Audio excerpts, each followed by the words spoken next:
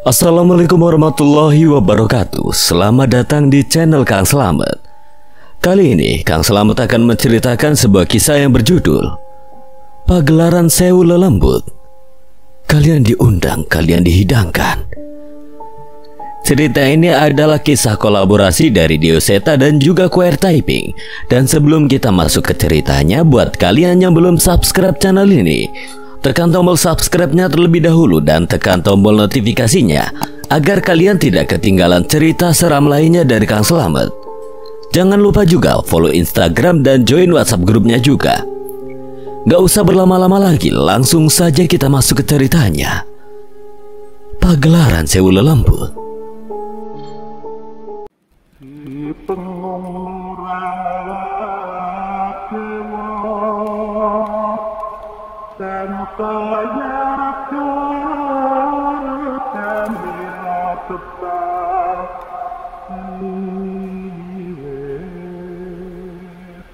Ya. Teriakan itu terus terdengar semakin melemah dan menghilang saat seluruh kekuatan gelap di tubuhnya sudah hangus terbakar. Tubuhnya pun hangus dan terjatuh di tanah. Cahaya segera melesat mendekat namun Pale melarangnya. Ke kekuatanku. Raden Giri Sangkur menyadari tidak ada lagi kesaktian pada dirinya. Apinya tidak menyala, kutukannya tidak lagi bisa ia sebarkan, namun ia melihat tubuhnya masih hidup dalam serangan semengerikan itu. Ia sadar hanya keabadian yang tersisa dalam tubuhnya. Saat itu tiba-tiba terdengar suara raungan Meyong Hideng dari arah pertarungan Gama dan Budi. Raden Giri Sangkur bertingkah aneh yang merasakan sesuatu yang buruk terjadi di sana. Itu suara Meyong Hideng. Benar. Apa itu artinya Gama dan Budi telah menyelesaikan pertarungannya? Melihat Raden Giri Sangkur memaksa tubuhnya untuk berlari ke arah suara itu, Danan dan Cahaya pun tidak tinggal diam. Ia mengikuti Raden Giri Sangkur mencegah sesuatu hal buruk yang terjadi lagi. Tapi sebelum sampai ke sana, tiba-tiba sebuah benda jatuh ke hadapan Raden Giri Sangkur. Kepala. Raden Giri Sangkur menatap kepala itu dan mendapati itu adalah kepalanya gadis. Dana dan Cahaya berhenti dan menjaga jarak. Gadis, tidak, tidak mungkin. Apa yang mereka lakukan padamu? Tidak apa. Berengkarnasilah dan kita akan bertemu kembali pada purnama merah seratus tahun lagi.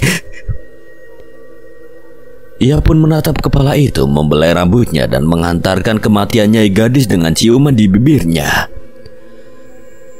Cahaya dan Danan hanya tertegun menatap pemandangan mengerikan di mana sosok manusia yang sudah hangus terbakar itu menciumi kepala buntung seorang perempuan cantik. Namun Raden Giri Sangkur menyadari sesuatu yang meraba bagian kepala Nyai Gadis. Ia mencari lambang perwujudan mutiara hitam yang menjadi pertanda bahwa Nyai Gadis akan bereinkarnasi kembali, tapi ia tidak menemukannya. Kali ini ia benar-benar cemas berkali-kali ia mencari lambang yang selalu ada di setiap reinkarnasinya gadis tidak lagi ia temukan. Tidak, tidak, jangan nyai, tidak mungkin. Saat itu raut wajah Raden Giri Sangkur benar-benar dipenuhi amarah. Ia pun memutuskan untuk menarik kembali jiwa sosok yang ia utus untuk melindungi Nyai Gadis. Dan kenyataan mengerikan membuat sosok abadi itu semakin murka. Amarahnya itu membangkitkan kekuatan besar yang ia pendam di leweng sasar. Terkutuk kau kiri karang. Apa telinga ini masih kurang cukup mendengar keluhmu? Apa kematian setiap tubuh ini masih belum cukup untuk melindungi dirimu? Dan apa jiwa ini masih belum pantas menerima rasamu? Lantas mengapa nama itu yang masih ada di dalam hatimu? Titah itu mutlak perjanjian darah terakhir disangkur dengan Giri Karang mengikat sampai akhir zaman. Lindungi Nyai Gadis dalam setiap kehidupannya. Pastikan ia tidak kurang satu apa pun di setiap kebangkitanku. Sebuah titah yang mutlak turun dari seorang Raden Giri Sangkur kepada roh tua yang setia pada leluhur dan keturunannya. Sosok roh tua yang sudah mengabdi dengan puluhan leluhur telah Giri Sangkur. Baik, Raden. Tidak ada keluhan, tidak ada bantahan. Perintah yang diberikan Tuan adalah kebahagiaan bagi sang hamba. Tidak akan ada yang menyangka ratusan tahun dan sekian kehidupan menciptakan perbedaan. Dalam tubuh manusia, ia melihat senyum wanita itu ribuan kali lebih banyak. Ia mendengar tangis wanita itu ribuan kali lebih lirih. Ia menerima rasa itu jutaan kali lebih dalam. Tembok kepatuhan itu pun mulai retak. Keabadian itu menyiksa Nyai. Giri Karang pernah mengucapkan kalimat itu pada Nyai Gadis saat mereka sedang menghabiskan waktu berdua sesudah pementasan. Sejenak tatapan mata Nyai Gadis terlihat kosong namun sebuah senyuman muncul di bibirnya. Tidak Giri Karang. Keabadian akan indah jika kita tahu ada orang istimewa yang terus menanti kita. Giri Karang sudah mengikuti Nyai Gadis dalam puluhan kehidupan. Ia bisa membaca dengan jelas bahwa ada keraguan di senyumannya itu. Harus ada yang menyadarkanmu dan harus ada yang membebaskanmu dari kutukan ini, Nyai. Dan mungkin itu adalah aku. Dalam hati Giri Karang menggumam kepatuhannya pada Raden Giri Sangkur bergumul dengan perasaan yang tumbuh kepada Nyai Gadis. Suara pementasan yang meriah terdengar ke seluruh warga desa. Hampir tidak ada yang melewatkan panggung meriah yang diramaikan sekelompok pemain gamelan dan tarian menawanya gadis. Sekali lagi, Giri Karang menyaksikan dari jauh sosok yang tidak pernah gagal membuat siapa pun terpesona. Di tempat itu, Giri Karang meyakinkan dirinya sebagai pelindung sang penari. Bila tidak boleh ada satupun orang yang menyakitinya gadis, maka begitu pun tuannya. Seperti yang terjadi malam-malam tertentu, Giri Karang mendampingi Nyai Gadis di kamarnya sebagai seorang abdi. Giri Karang mematuhi dan memenuhi keinginan Nyai Gadis untuk mendapatkan cinta dan kehangatan dari seorang pria. Perjumpaanku dengan Raden Giri Sangkur akan segera terjadi. Mari kita rayakan ini Giri Karang. Seolah jantungnya tertusuk pisau yang tajam, ucapan Nyai Gadis membuat Giri Karang mengambil keputusan besar. Sebelum penyatuan itu terjadi, Giri Karang membasuh tubuhnya dengan ritual darah. Nyai gadis pun memandang Giri Karang dengan cara yang berbeda setelahnya. Di malam pengkhianatan itu, bibir mereka saling bertaut, tubuh mereka saling bersentuhan, mereka saling membagi kenikmatan tanpa menahan diri. Tanpa Nyai gadis sadari malam itu ritual Giri Karang membuat dirinya melupakan kekasih abadinya. Ikatan itu pun terputus, selambang yang menjadi tanda bahwa dirinya akan berenkarnasi hingga akhir zaman menghilang dari belakang telinganya. Malam itu menjadi akhirnya ikatan sepasang kekasih dan menjadi akhirnya ikatan sang abdi. Seluruh ingatan Giri Karang muncul di pikiran Giri Sangkur saat ia menarik jiwa abdinya itu. Wajahnya merah padam dan amarahnya tidak lagi terbendung. Terkutuk, Berani-beraninya kau melakukan itu padanya gadis. Dengan kekuatan darah tragiri sangkur, ia menyiksa kepulan kekuatan hitam perwujudan sang giri karang. Tidak apa, habisi saja aku. Mungkin kau adalah orang pertama yang dia cintai. Aku tidak menyesal saat menyadari akulah cinta yang terakhir untuk dirinya. Kematianku adalah kebahagiaan. Teriakan kesakitan seseorang yang kehilangan itu menggema ke seluruh hutan, tubuhnya mulai hancur. Namun tidak sehancur hatinya yang telah dihianati. Tidak, tidak mungkin gadis berpaling. Giri Karang berdusta. Dari mana kau tahu? Perempuan itu kan sudah mati. Jangan cari gara-gara, Jul. Saat itu mereka berdua pun hanya menyaksikan pemandangan sesosok pria yang mengutuk dirinya sendiri. Ia yang mampu menghabisi ratusan nyawa itu bahkan tidak mampu mengatasi satu kehilangan. Abadi untuk apa? Untuk apa aku bangkit kembali di dunia di mana Nyai Gadis tidak ada lagi? Nah, itu betul.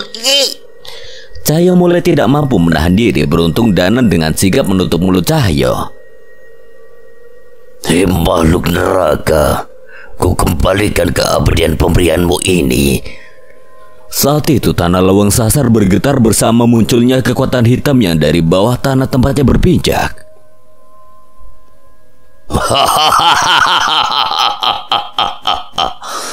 Manusia bodoh, sudah berapa ratus nyawa kau korbankan untuk keabadianmu, dan kau ingin melepaskannya begitu saja. Iya, Saat itu tubuh Dana dan Cahaya gemetar Ia menyadari bahwa sosok yang mengikat perjanjian dengan Giri Sangkur itu bukan makhluk yang pantas berada di alam ini. tidak. Aku lebih suka melihatmu tersiksa dalam keabadian.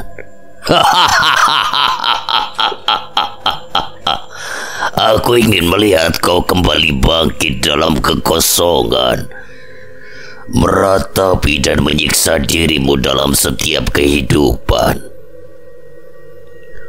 Kau akan terus membunuh dirimu untuk menghindari rasa sakit itu.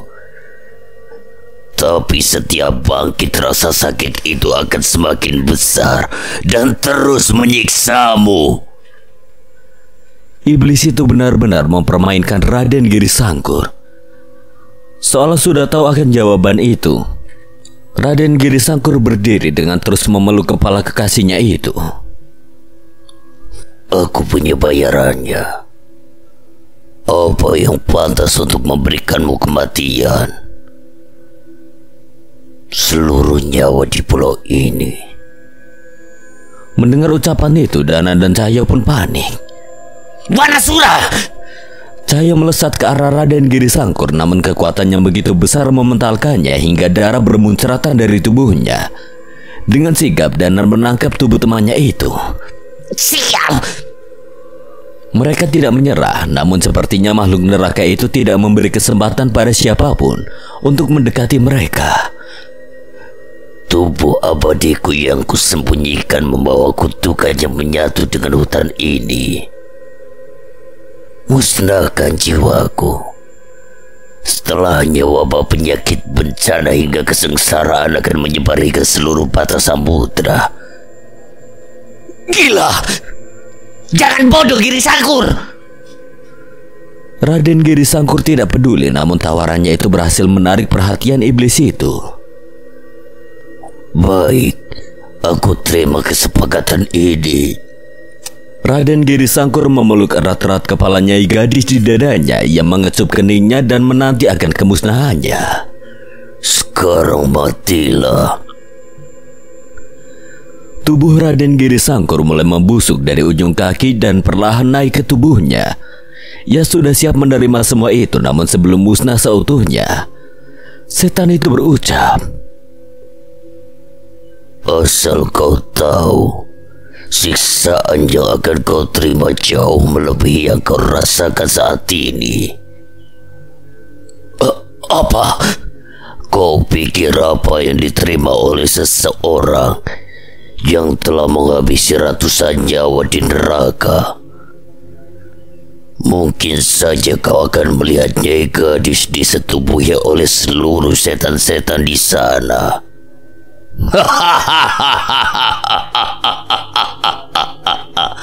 Dan jangan lupa siksaan itu abadi.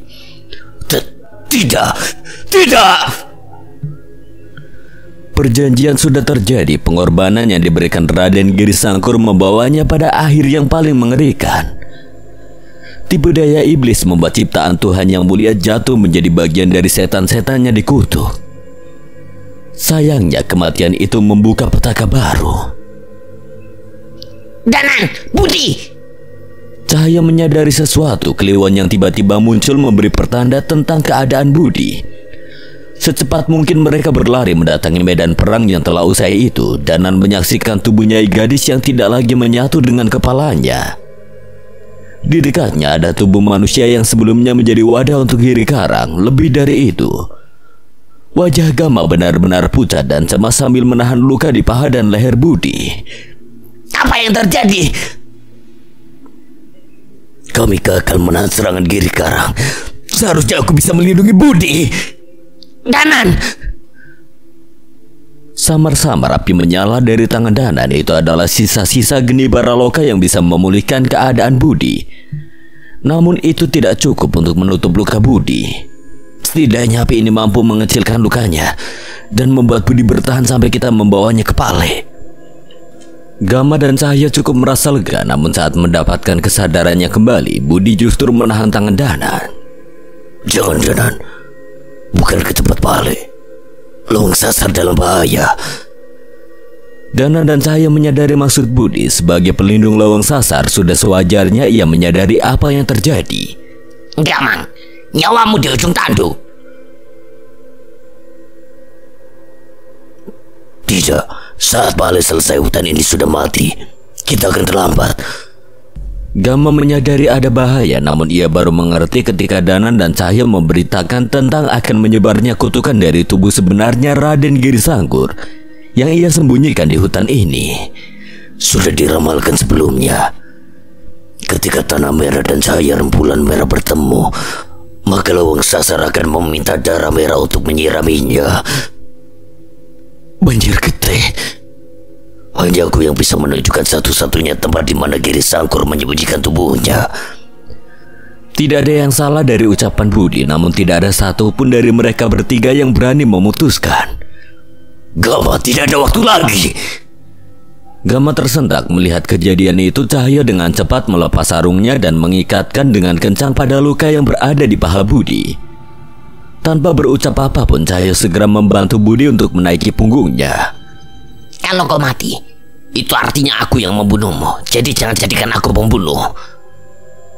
Aku tidak selamat dirimu, lagi pula tidak akan aku biarkan kau membawaku ke tukang cukur terkutuk itu. Simpan candaanmu untuk memperpanjang nyawamu, Mamang Gondrong. Gama dan Danan benar-benar tidak bisa berkata apa-apa melihat ikatan kedua orang itu. Satu hal yang pasti, ini satu-satunya kesempatan mereka menghentikan kutukan Raden Giri Sangkur. Gama, bawa ini. Seseorang buru-buru mendekati Gama dan memberikan sekantung pasir hitam. Mengidim, pasir ini itu sisa pasir terakhir.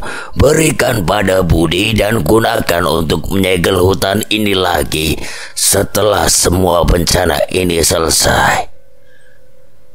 Gama mengangguk tanpa banyak berbicara mereka pun segera bergegas memasuki hutan yang lebih dalam sesuai arahan Budi.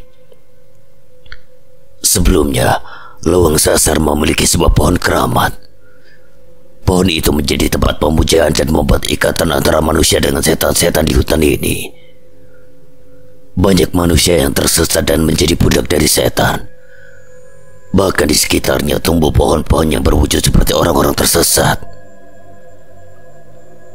Dengar berbagai usaha, Bapak meniadakan pohon itu agar tidak ada lagi orang-orang yang menjadi korban dari sisi gelap hutan ini. Saat itulah Abah menemukan sebuah lubang. Bapak sadar bahwa lubang misterius itu menyimpan sesuatu yang berbahaya. Ia memasukinya namun ia belum mampu untuk menemukan apa pun hingga memutuskan untuk menutup lubang itu. Jadi karena itu kau yakin tubuh Raden Giri Sangkur disembunyikan di sana? Tidak ada tempat yang tidak dapat kurasakan di luang sasar. Tanah merah selain lubang itu. Seandainya ku gagal, ku titipkan lubang sasar padamu. Gama menoleh saat Budi berkata kalimat itu pada Cahyo. Belum pernah Budi mau menyerahkan urusan hutan yang merupakan tanah kelahiran dan kenangan masa lalunya pada orang lain. Berani mengatakan itu sekali lagi, aku sendiri yang akan memangkas rambutmu. Walau berbicara dengan keras, terlihat dengan jelas Cahyo menahan air matanya. Ia tahu bahwa seorang manusia tidak akan mampu bertahan lebih lama dengan luka sedalam itu. Danan berusaha mengalihkan pandangan matanya dari kedua orang itu. Ia begitu kalut menahan perasaannya. Namun ia sempat melihat senyuman di wajah Budi sebelum kesadarannya kembali menghilang. Naya, apa yang harus kita berbuat? Menunggu. Saat ini kita hanya bisa percaya pada mereka Ki Arsa. Dibanding kebingungan Arsa, rasa cemas Naya benar-benar menyesakan hatinya. Saat ini sekali lagi kekasihnya itu harus mempertaruhkan hidup dan matinya demi alam ini. Naya melihat sekeliling, tidak ada yang beranjak dari tempat itu. Jagat memposisikan tubuhnya bersemedi untuk mencari jalur menyusul Dana dan Cahyo. Pale memainkan apinya memastikan dirinya siap ketika mereka kembali dan membawa Budi yang sedang bertahan dalam batas hidupnya. Dirga dan Guntur yang sedari tadi berjuang sekuat tenaga menghadapi Raden Giri Sangkur pun sedang berusaha memulihkan dirinya. Mereka semua memastikan kesiapan dirinya untuk kemungkinan terburuk. Naya melangkah menghampiri kepala seorang perempuan yang menjadi sumber dari segala bencana ini. Tubuh yang memeluknya sudah membusuk dan hancur berkat perjanjian terakhir yang ia sesali. Entah Apakah aku mampu jika harus menunggu Mas Danan selama dirimu menunggu Raden Giri Sangkur? Ia menyatukan kepala itu kepada jasadnya dan bersimpu sebentar untuk membacakan doa untuk jasad perempuan itu. Ada alasan mengapa kita diajarkan untuk menjaga kesucian tubuh kita sebagai seorang perempuan. Apa yang terjadi padamu seharusnya mampu menjadi pelajaran bagi perempuan agar lebih menghargai tubuh yang dipercayakan Tuhan padanya. Walaupun mengetahui kekejamannya Igadi sebagai seorang perempuan hatinya ikut merasakan hancur ketika menyadari perasaan sebenarnya seorang Nyai Gadis. Apakah ia harus menanti seseorang yang ia cintai? Sementara di dekatnya ada seseorang yang mampu membunuh kegundahannya dan membuatnya bahagia. Mas Danan, kamu akan membuat Naya menunggu selama itu kan?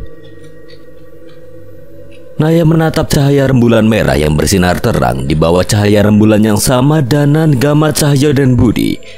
Terhenti di sebuah tempat sesuai petunjuk Budi, sebuah tempat yang dikelilingi oleh pepohonan yang menyerupai manusia. Lewang sasar tanah merah. Di sinilah manusia yang menyesatkan dirinya dan mengikat perjanjian dengan yang dikutuk berakhir tragis. Tubuh itu tidak diterima bumi dan akan menjadi saksi atas pengkhianatan mereka pada penciptanya.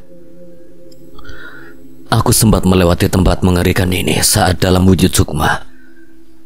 Namun tidak aku sangka ada sesuatu yang tersembunyi di sini.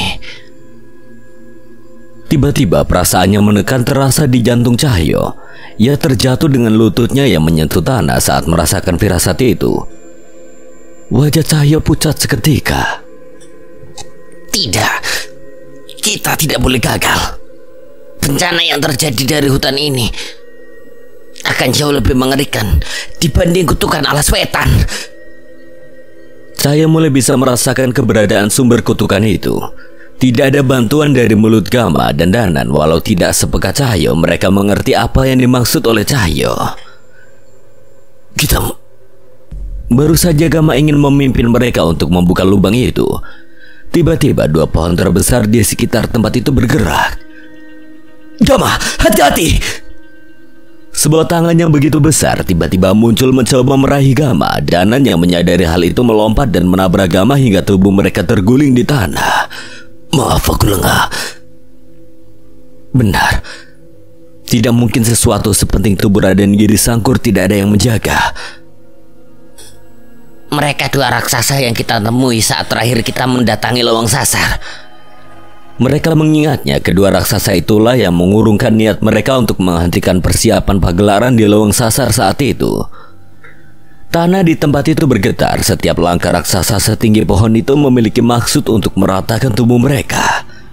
Gama, serahkan mereka pada kami. Hanya kamu yang mengerti cara membuka lubang itu. Mereka bukan makhluk biasa, Danan.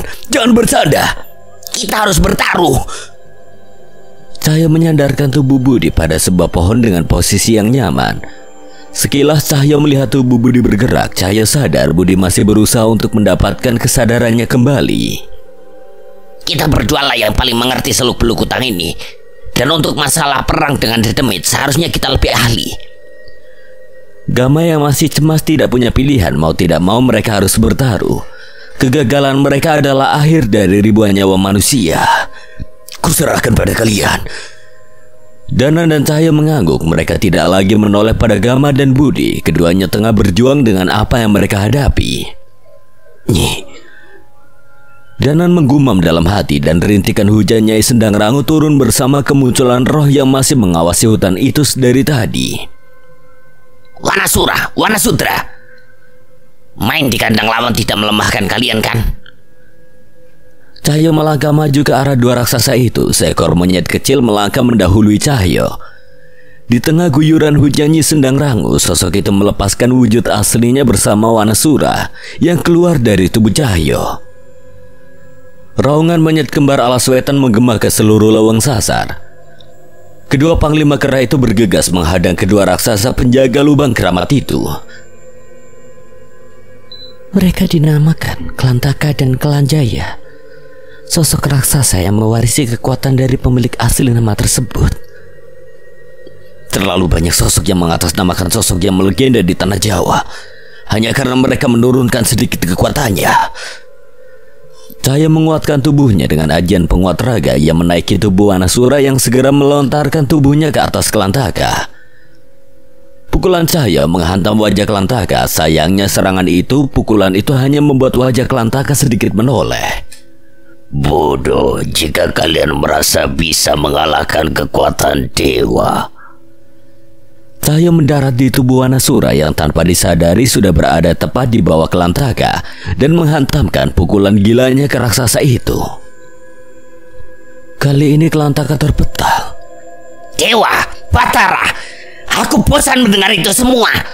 Panggilan itu tidak akan merubah kenyataan bahwa kalian adalah setan. Sementara itu, Kliwon dalam wujud Wanasudra menabrakkan tubuhnya ke Kelanjaya namun kekuatan raksasa itu sangat mampu untuk menahan Wana Sudra. Wanara ingin beradu dengan kekuatan raksasa. Sementara itu ia menyombongkan diri. Roh Danan telah terpisah dari tubuhnya dan menghujamkan keris raga sukma menembus jantung Kelanjaya. Dana dan Cahaya tidak memiliki banyak waktu. Ia harus mengerahkan segalanya untuk menahan makhluk itu mendekati Gama. Ini sedang ramu. Danan memberi isyarat ada sesuatu yang berbeda dari sosoknya Sendang Rangu. Ia menghirup kekuatan hitam dari Kelantaka dan Kelanjaya yang seketika merubah wajahnya menjadi begitu mengerikan. Selendang dan kebayanya menghitam. Ku kembalikan dosa-dosa manusia bodoh yang bersekutu dengan kalian.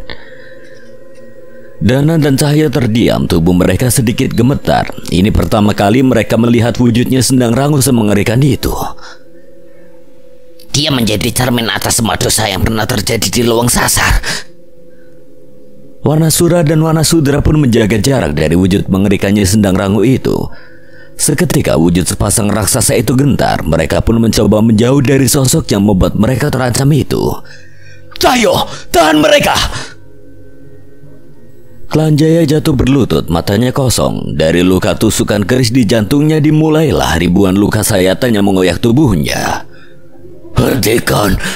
Ampun. Sakit.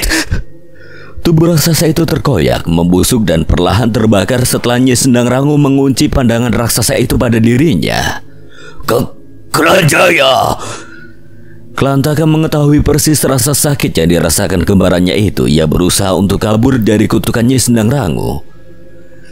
Cahaya memerintahkan Wanasura dan Wanasudra untuk menahan Kelantaka. Sementara itu sekali lagi, Roh Danan menembus jantung Kelantaka yang menjadi pertanda bahwa sosok itu akan menerima penghakiman kekuatannya Senang Rangu. Ah, hentikan! Aku tidak ingin musnah. Cahaya memandang dengan mengerikan bagaimana tubuh raksasa itu terkoyak-koyak dari dalam. Dari bekas luka tusukan keris tenaga sukma yang dihujamkan oleh Danan. Itu ilmu yang mengerikan, Tidak, Jul. Dosa-dosa mereka yang mengerikan, ilmu itu tidak akan berarti apa-apa untuk makhluk yang berjalan di jalan kebajikan. Wanasura kembali merasuk ke dalam tubuh Cahaya sementara Wanasudra kembali ke wujud Kliwon. Dana dan Cahaya pun berpaling dari raksasa-raksasa yang perlahan musnah oleh siksaan dari perwujudan dosa. Gama! Cahaya dan Danan bergegas yang melihat lubang yang dimaksud sudah terbuka namun wajah Gama terlihat cemas. Berhasil! Aku berhasil membuka lubang itu tapi kutukan Raden Giri Sangkur Terlihat tulang belulang hitam telah terbakar hangus membentuk gumpalan debu hitam. Dalam sekejap kekuatannya mendalam merasuk dan membuat mereka gentar. Tidak mungkin. Kita terlambat. Gumpalan itu akan menyebar bersama angin dan membawa bencana. Raungan Meong Hideng terdengar cemas tidak ada lagi yang bisa menghentikan kutukan Raden Giri Sangkur. Cayo, apa yang kau lakukan? Pagar gaib, pelindung, gunakan apa saja, apa saja. Jangan sampai kutukan itu keluar dari tempat ini. Tidak, itu tidak akan berhasil. Kutukan ratusan tahun tidak akan tertahan hanya dengan ilmu itu. Setidaknya aku tidak akan menyerah. Di luar sana ada Sekar, Bule, Bude, Aba Pale semuanya akan menjadi korban bencana ini. Suara langkah yang terseret lemah terdengar mendekati Gama. Gama, pasir dari Mang Idim. Gama masih terdiam melihat Budi yang sekuat tenaga mempertahankan kesadarannya. Aku akan menjaga lubang ini jangan ada yang mendekat atau kalian akan mati. Danan, Cahaya dan Gama mulai mencerna apa yang akan Budi lakukan. Gama menahan tangan Budi. Kamu bisa mati, Bud. Itu pun tidak menjamin kutukan itu akan terhenti sepenuhnya. Ini tugasku. Aku tidak terpikirkan kemungkinan lain. Suara dentuman mulai terdengar dari tanah di bawah gumpalan kutukan Raden Giri Sangkur itu. Aku tidak mengerti maksudmu. Tapi kalau itu memungkinkan untuk kita menahan ledakan kutukan ini, pertaruhkan nyawaku juga.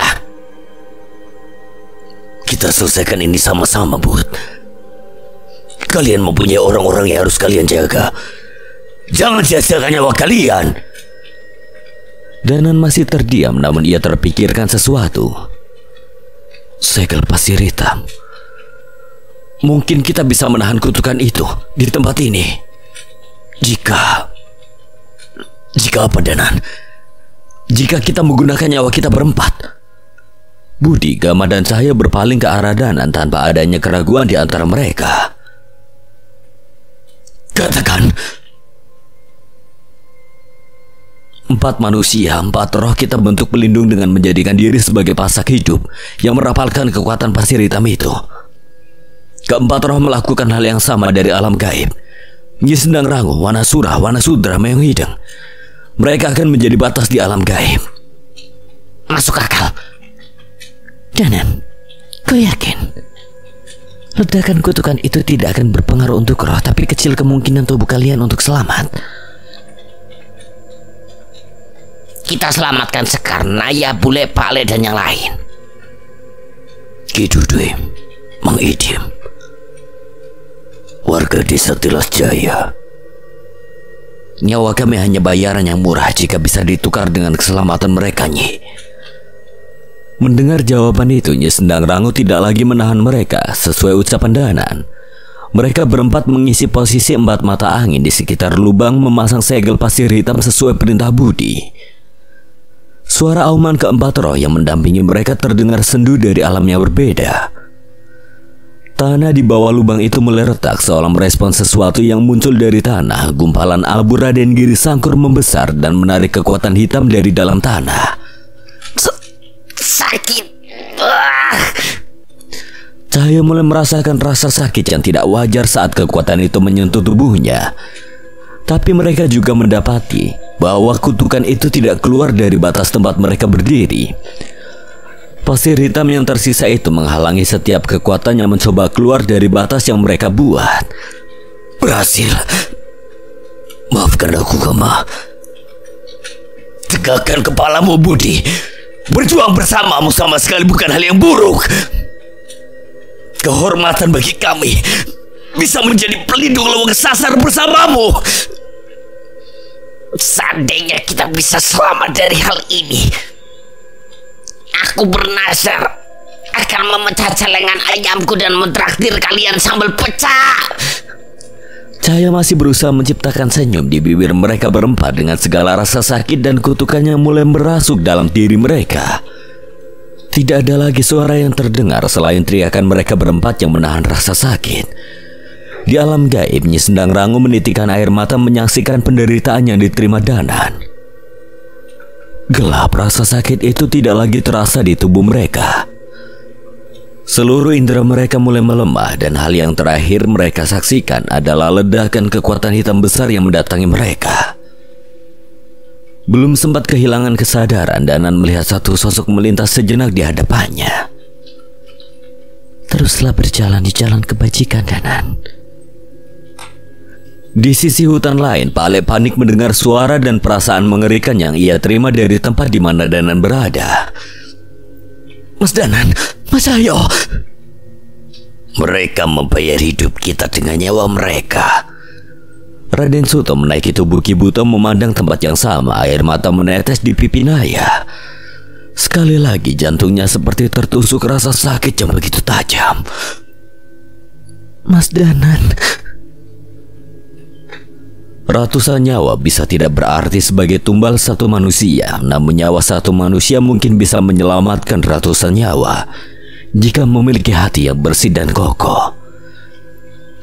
Tragedi Lewang Sasar berakhir tanpa kembalinya empat nama yang mengakhiri hidupnya untuk menahan ledakan kutukan Raden Giri Sangkur. Dananjaya Sambara, Digjaya Adigunagama, Cahyo, Jalu Kertajasa. Lewang Sasar pun kembali tertutup. Semua yang mencoba datang tak akan menemukan jalan untuk masuk. Pagelaran Sewula Lembut pun menjadi penutup dari berakhirnya petaka di lewang sasar. Di desa Dirga, hangatnya cahaya matahari masuk dari celah jendela dan jatuh di tubuh Danan. Panas di tubuhnya baru saja reda setelah begitu lama tidak sadarkan diri. Mas Danan, Suara seorang perempuan yang duduk tertidur di pinggir kasur menyambut kesadaran Danan. Tubuhnya yang lemah membuatnya masih belum bisa mengingat dengan jelas apa yang terjadi. Nah, nah ya. Danan menoleh memperhatikan apa yang ada di sekitarnya. Ia mengenali kamar itu. Salah satu kamar yang biasa mereka gunakan saat menginap di rumah Abah. Tidak jauh di sebelahnya ada Cahyo yang masih terbaring dengan keadaan yang sama. Cahyo, Cahyo gimana Naya? Mas Cahyo nggak apa-apa mas. Pak Ale merawat kalian semalaman. Danan meminum beberapa teguk air itu dan menenangkan pikirannya. Ia terdiam sejenak dan mendengar suara dari arah Cahyo. Ini kita di mana, Nan? Di rumah apa, Jol? Kita selamat. Saat itu Danan baru mengingat dengan jelas apa yang telah terjadi. Ia mengingat bagaimana mereka berempat menjadi pondasi pelindung untuk mencegah ledakan dari kutukan Raden Giri Sangkur menyebar di pulau ini. Kita masih hidup. Budi, Gama, mereka di mana? Danan mulai panik meninggalkan kasurnya. Cahyo yang juga cemas pun ingin menyusul Dana namun sebelum mereka keluar, Pak Lek masuk dan menahan mereka. Pukulan Pak Lek pun mendarah di kedua kepala mereka. Jangan pikir khawatir orang. Kalian masih belum pulih, tubuh kalian saja masih demam. Tapi Gama dan Budi Mereka selamat, Mang Idim dan kawannya membantu mereka keluar dari hutan. Pak Le juga sudah membantu memulihkan mereka sebisa mungkin. Sekarang mungkin mereka sedang dirawat oleh Ki Dudui. Pale, bagaimana kami bisa selamat? Pale menghela nafas yang menggeleng sebagai isyarat bahwa ia sendiri tidak mengerti akan apa yang terjadi. Nah, saat ledakan kutukan Raden Giri Sanggur tertahan, kami memastikan bahwa bahaya telah terlewati. Saat itu kami menemukan tubuh kalian di antara pohon-pohon yang menyerupai wujud manusia. Dari energi kutukan yang tersisa di tempat mereka berada, Pale mengetahui bahwa mereka berempat menahan kekuatan yang begitu besar hingga mengorbankan nyawa mereka. Namun tak disangka Pale masih merasakan nafas di tubuh mereka. Aku tidak percaya tubuh kita masih utuh setelah kejadian itu. Pasti ada yang terjadi. Danan berusaha mengingat yang memegangi dahinya merasa ada sesuatu yang salah. Dana dan Cahaya mencoba mengingat segala hal yang terjadi pasca ledakan terjadi. Samar-samar aku melihat leluhur Gama Kilang Samana dan sosok yang kukira orang tua Mamang Gondrong. Aku kira itu pertanda bahwa sudah saatnya aku mati. Danan mengingat sebuah kalimat yang terdengar sebelum tidak sadarkan diri. Teruslah berjalan di jalan kebajikan Danan. Ini sedang ragu. Danan kembali berdiri dari ranjangnya dan bergegas keluar. Ia pergi ke halaman belakang sementara Cahyo, Pale dan Naya berusaha menyusulnya. Keris Raga Sukma kini berada di genggaman Danan. Ada sesuatu yang ingin dia pastikan Danan meletakkan keris Raga Sukma di antara dahi dan merapalkan mantra yang diturunkan oleh leluhur Sambara. Jagatlah lembut muatan dua wujud. Kulonim Bali.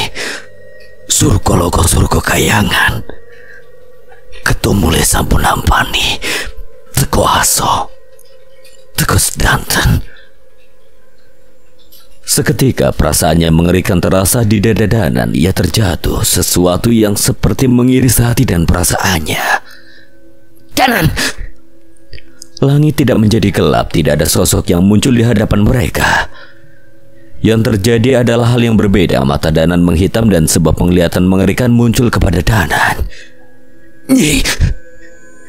tidak mungkin. Di dalam penglihatannya, Danan melihat keberadaannya sedang rangu dengan wujud yang begitu mengerikan. Semua tubuhnya menghitam. Wajah dan kulitnya yang cantik rusak dan membusuk kekuatan hitam mengalir tidak terbendung dari dalam dirinya. Dalam keadaan yang seperti itu, Nyi Sendang Rangu menyegel dirinya sendiri di satu tempat yang terpencil. Ah! Danan berteriak dan mulai menangis berkali-kali memukul tanah menyesali apa yang ia lihat. Cahyo, Naya, dan Pak Alek mendekat dan berusaha menenangkan Dana dengan memeluknya dari belakang. Ceritakan, Nan. Nyi Sendang Rango. Nyi Sendang Rango sebelum ledakan kutukan itu menghabisi nyawa kita. Ia menjadikan dirinya wadah untuk menjaga kutukan itu. Kekuatan kutukan itu terlalu mengerikan. Nyi Sendang Rangu menahan kekuatan itu sendirian. Tubuhnya hancur. Wujudnya semakin mengerikan. Ia menyekel dirinya sendiri bersama kutukan itu agar tidak mencelakai siapa pun. Sakit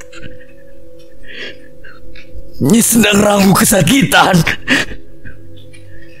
Naya menggigit bibirnya tidak bisa membayangkan seberapa siksaannya Nyi Sendang Rangu rasakan saat ini. Tubuh Pak Le pun panas dingin mengetahui semua kekuatan mematikan itu kini bersarang di tubuh Nyi Sendang Rangu. Keheningan terjadi di antara mereka hanya isak tangis yang terdengar di tempat itu. Kita tolong Nyi Sendang Rangu, Nan harus Nyi Sendang Rangu mengambil resiko itu Pasti karena dirinya percaya kalian bisa menyelamatkannya Pale memeluk kedua pundak muridnya itu yang malah nafas mencoba menenangkan dirinya. Nah, pulihkan diri kalian, jangan sia-siakan pengorbanan Sendang Rangu. Danan dan Cahaya mengangguk setuju mereka pun kembali ke kamar sejenak untuk menenangkan diri mereka.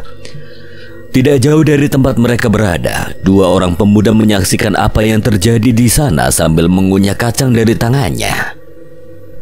Mereka benar-benar kuat ya, Tur. Kalau aku udah pasti nangis guling-guling sambil minta dipuk-puk sama Arum.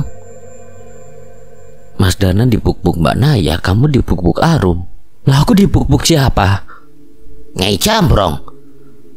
Mendengar jawaban itu, Dirga menoleh dengan kesal ke arah Guntur. Ia pun melemparkan kulit kacang yang sedari tadi ia nikmati ke arah Guntur. Ngawur. Guntur tertawa melihat raut wajah Dirga saat itu setelah keadaan semakin membaik. Danan dan Cahyo pun memutuskan untuk keluar dan melihat keadaan sekitar. Desa yang sebelumnya mengalami tragedi mengerikan itu kini mulai pulih satu persatu warga yang terjangkit penyakit gaib. Sudah pulih dan mulai beraktivitas. Dana dan Cahaya mampir ke balai desa tempat di mana teman-teman padepokan Kidarubaya dan Kijoyo Talun beristirahat. Ia melihat Kidarubaya dan Arsa sedang asik berbincang di pelataran. Arsa yang melihat keberadaan Dana dan Cahyo mereka berdiri dan menyambut mereka. Mas Danan, kulonyuan pangapunten. Minta maaf apa? Semua tahu kalau itu semua terjadi karena tipu muslihat Raden Giri Sangkur. Tapi tetap saja saya membuat banyak masalah.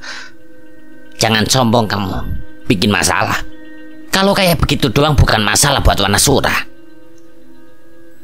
Kami yang minta maaf, Sa.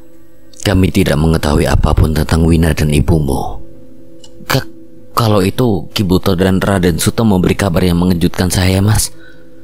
Rupanya kedatangan Kibuto dan Raden Suto bukan sekedar untuk mendampingi Arsa. Kematian Wina dan ibunya merupakan rencana Raden Giri Sangkur dan pengikutnya. Tapi Raden Suto sudah mengantisipasinya. Saat rumah mereka dibakar, Raden Suto dan Kibuto merasuk ke tubuh Wina dan ibunya. Mereka mengambil pengikut Raden Giri Sangkur untuk menggantikan mereka di dalam rumah. Jasad yang dianggap sebagai Wina dan ibunya ternyata hanyalah pengganti. Saat ini ibu dan Wina berada di Bukit Terawuh, tempat yang dijaga oleh Kibuto. Mendengar kabar itu, Danan dan Cahaya cukup lega. Mereka pun bergabung dengan perbincangan kedua dalang itu. Kalau keputusanmu sudah bulat, lakukanlah. Saya mohon restunya, Ki. Semoga saya bisa jadi dalang yang bijak seperti Ki Darubaya. Dana dan Cahyo baru mengerti ternyata kejadian di Lewang Sasar membuat Arsa merasa begitu banyak kekurangan dalam dirinya. Terkena tipu daya setan adalah pukulan telak yang membuatnya merasa rendah. Apa rencanamu Arsa?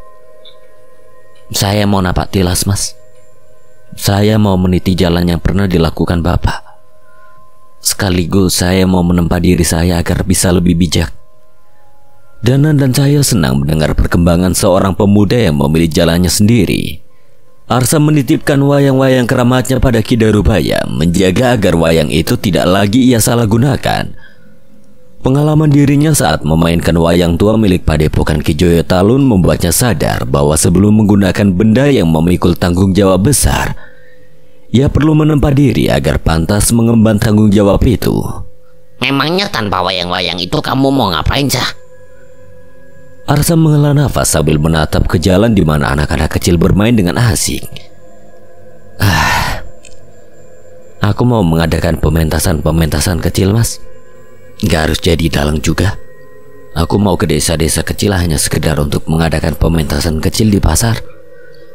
Bergabung dengan pementasan keliling atau malah hanya mendongeng kepada anak-anak kecil seperti mereka.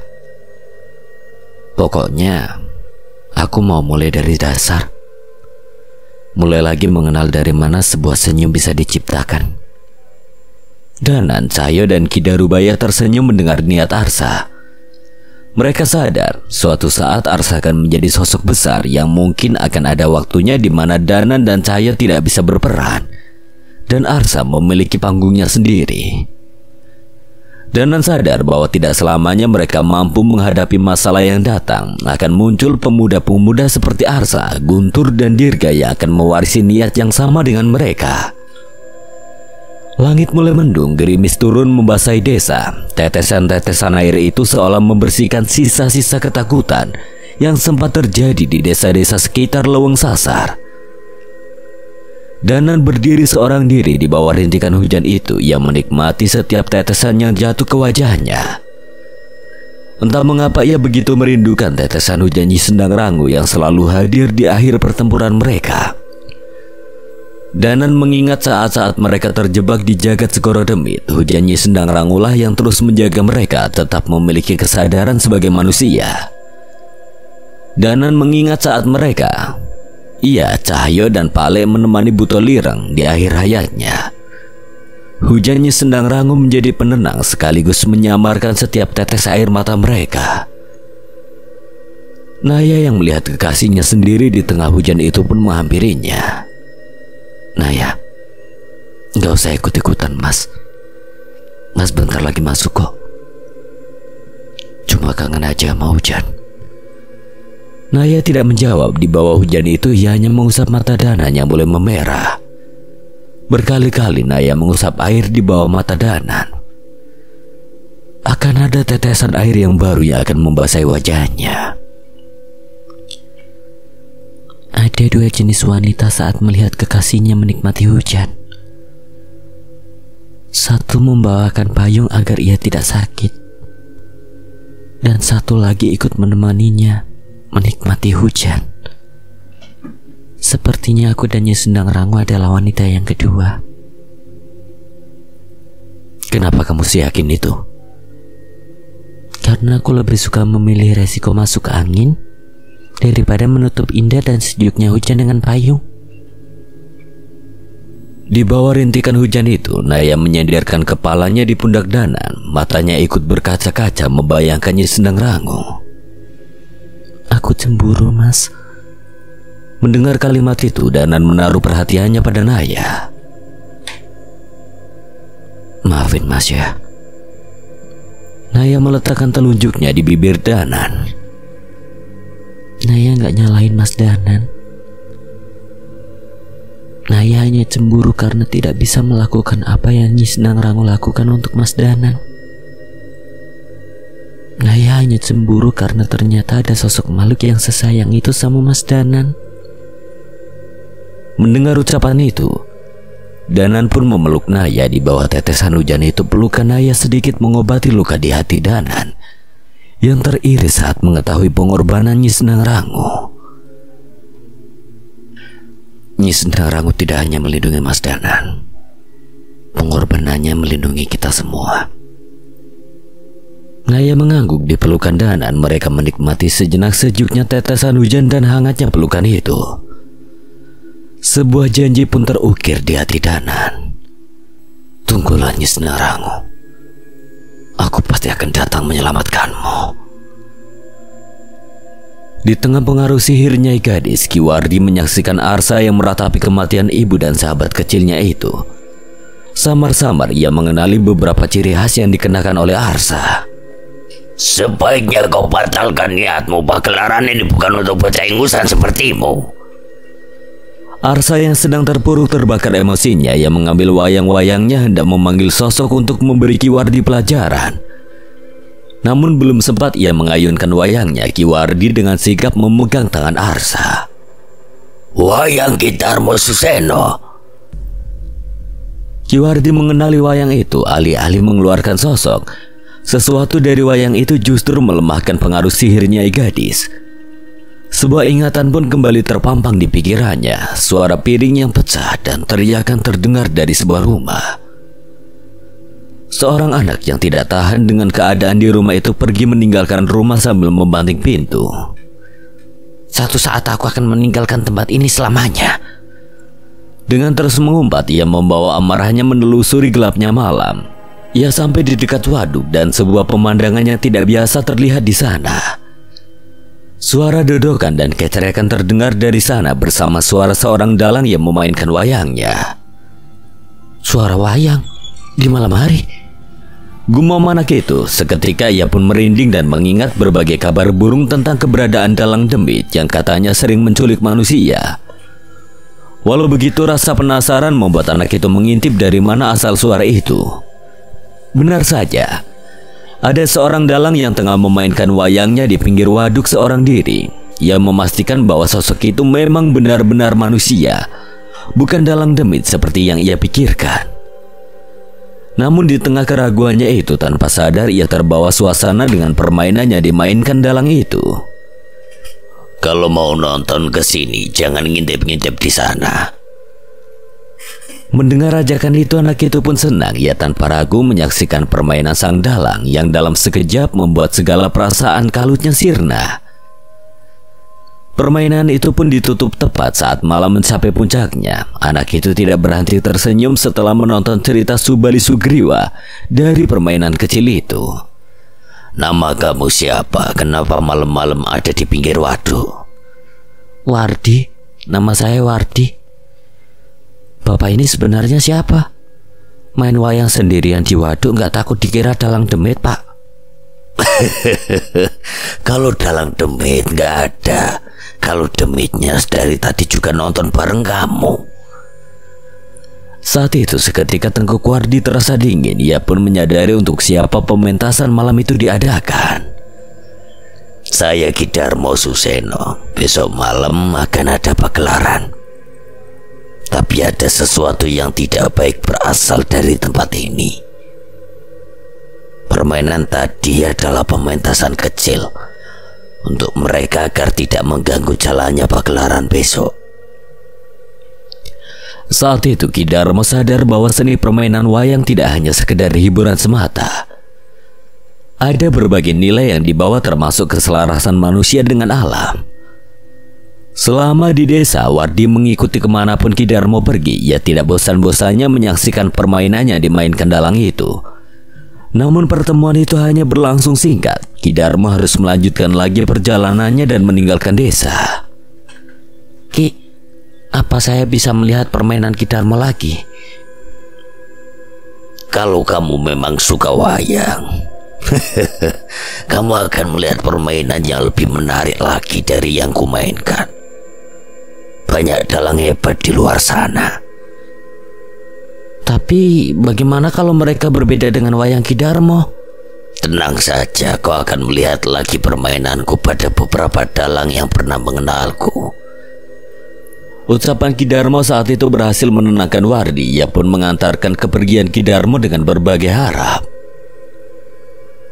Permainan ayahmu yang membuatku mulai tertarik dengan pertunjukan wayang. Kiwardi memandang wayang yang masih belum dilepas oleh Arsa. Bapak sudah mati dan ibu baru saja menyusulnya. Teriak Arsa dengan mata yang masih berkaca-kaca. Kiwardi tiba-tiba memukul wajah Arsa hingga terjatuh. Kali ini ia melakukan itu tanpa pengaruh sihirnya gadis.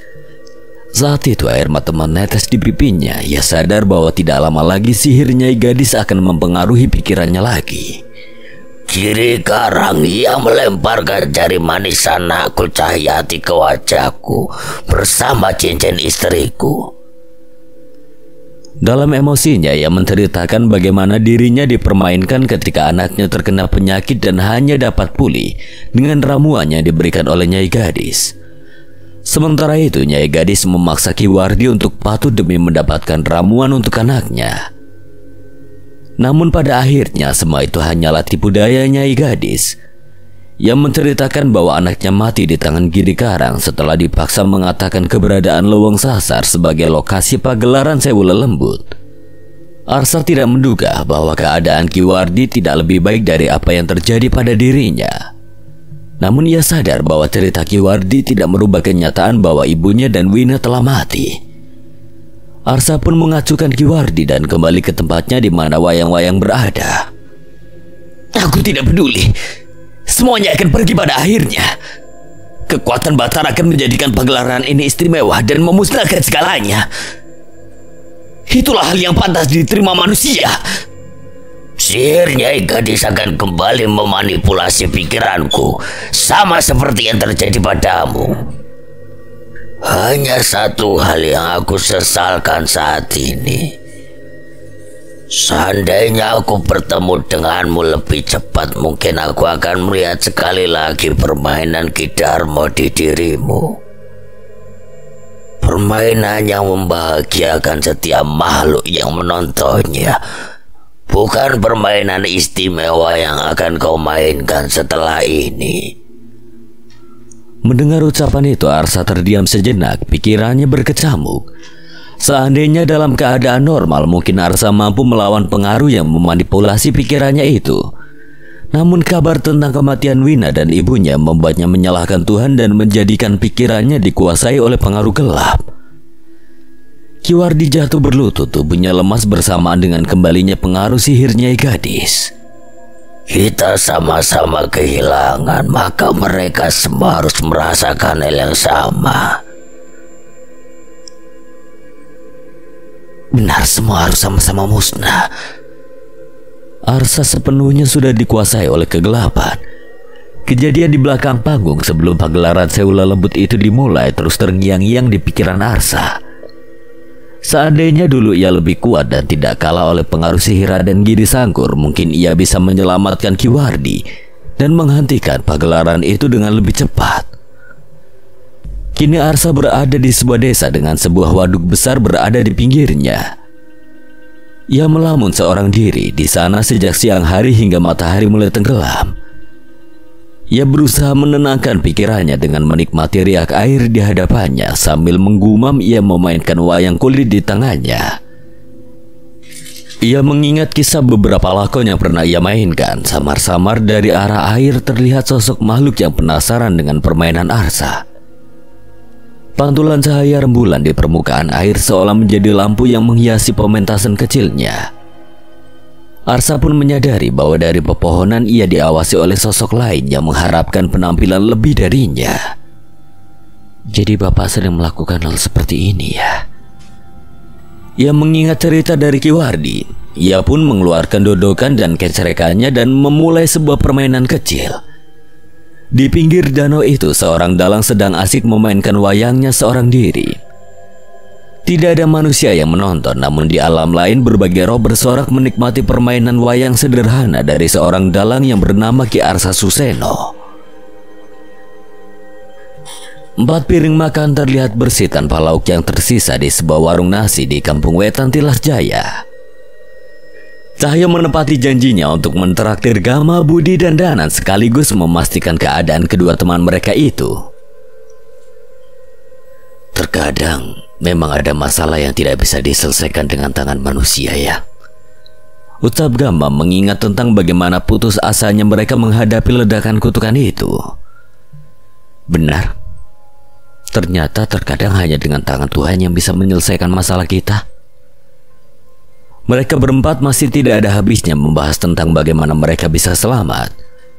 Banyak hal di luar nalar yang ternyata dapat terjadi di alam ini, mulai dari Raden Giri Sangkur yang mendapatkan keabadian demi terus bersama Nyai Gadis, Sosok Nyai gadis yang terus berengkarnasi demi menemui kekasihnya itu hingga cinta terpendam dari sosok Giri Karang yang selalu mendampingi Nyai gadis di setiap kehidupannya.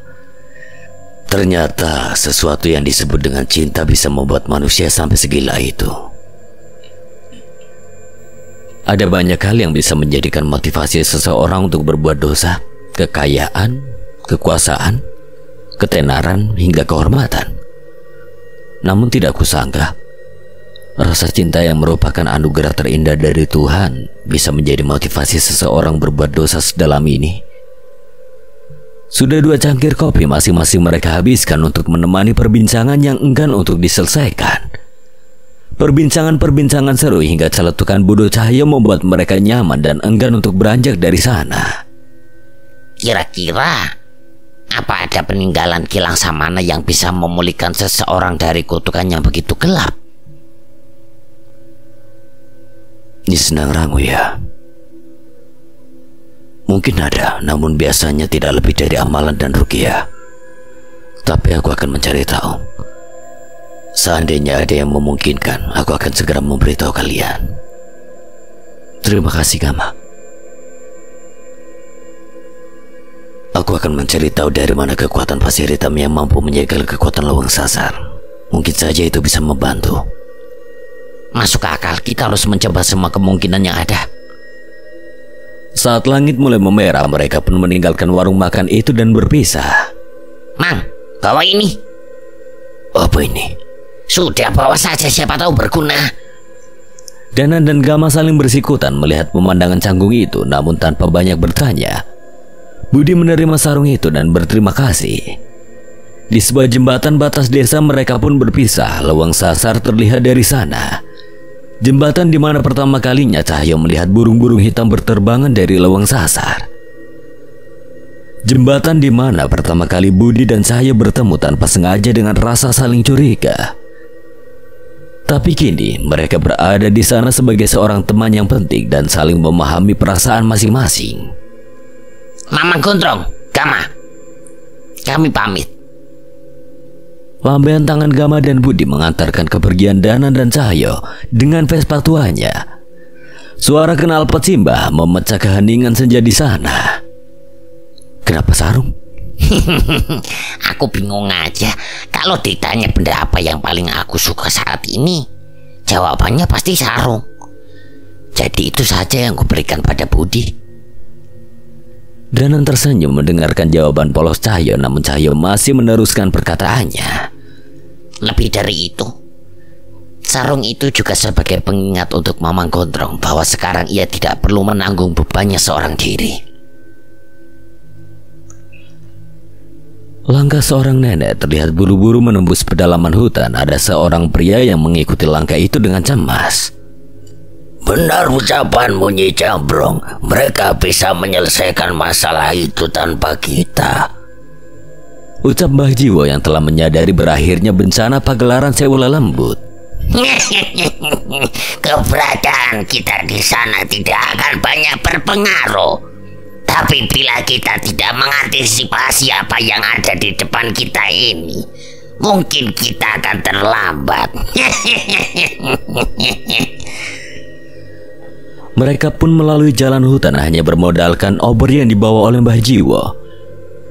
Di tempat yang mereka tuju, seseorang sudah menanti mereka sambil bermeditasi dan duduk bersila. Pemandangannya mengerikan menyambut mereka dari sebuah tempat di kedalaman hutan itu. Siapa yang melakukan semua ini? Mereka melihat pocong-pocong yang digantung terbalik di pepohonan. Darah mereka menetes di tanah persis seperti ritual yang pernah mereka lihat sebelumnya. Sebuah bangunan tua yang cukup besar berada di tengah-tengah tragedi itu. Apa yang terjadi, Pliwaja? Kita terlambat, Nyai.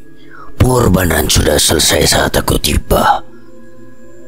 Nyai Jamrong memasuki bangunan itu dan menemukan banyak mayat dari pria berpakaian kebaya Jawa yang lengkap dengan keris di pinggangnya.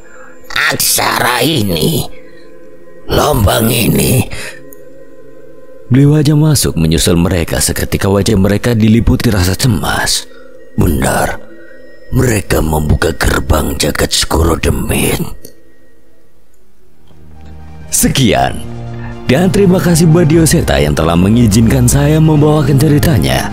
Apabila ada kesalahan atau kekurangan, Kang Selamat memohon maaf sebesar-besarnya dan akhir kata, Kang Selamat pamit undur diri. Wassalamualaikum warahmatullahi wabarakatuh.